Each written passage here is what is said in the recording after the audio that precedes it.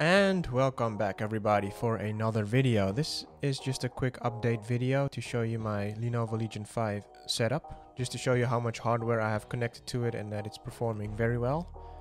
A lot of things running at the same time. There you can see a pod mic, a special uh, dynamic mic connected to a audio interface. The microphone is also connected to a ARM of the same brand, Rode.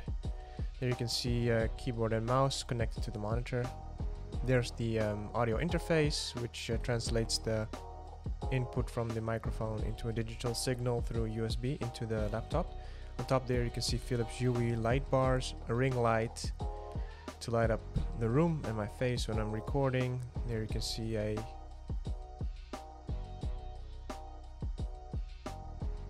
a mirrorless camera which is connected to a cam link as you can see here a Elgato cam link which is inside of a USB port. There you see the red cable that goes into the uh, camera. There you see all the ports are utilized except for the HDMI and the network port. The laptop is always charging. I have conservation mode on to spare the battery life and here on the right side you can see another USB port being utilized by the stand that it's on. So there you go. You can see it's fully uh, loaded. Uh, the stand there you can see it. It has a built-in cooler and is powered by the USB cable that is connected to the laptop. I'll show you guys a complete overview of all the hardware connected to it and uh, how the cables are set I'll insert that right now. Alright, here we go. Let's have a look at this crazy monstrosity of a setup for a laptop. This would be pretty normal for a desktop computer, but as I have limited space, I wanted to have a laptop for this specific setup. So of course, let's start out with the stand, which has a built-in cooler. I'll name the brands in the description box below. It's not really important for this video. So we have our uh, base with cooler, then of course we have the laptop placed on top of that.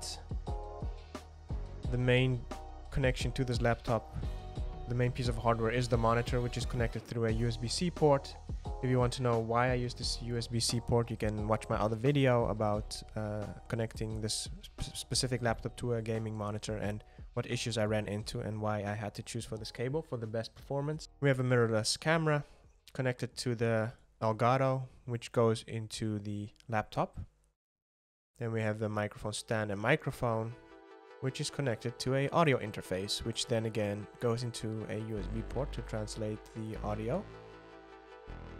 We have the 230 watts power supply. We have a simple ring lamp, which just needs power from the USB port, which is powered by the stand. As you can see, it has an extra USB port. Philips Hue bars, they are connected through the network through a um, bridge, the Zigbee bridge from Philips Hue to sync with the monitor. So everything that happens on the monitor is synced into the lights.